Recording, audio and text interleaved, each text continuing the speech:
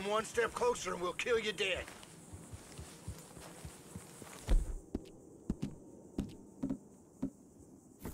Go now. Ah!